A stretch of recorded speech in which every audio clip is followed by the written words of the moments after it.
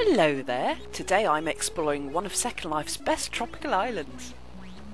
There's lots to see and do here, and plenty of chilling to be had at La Isla.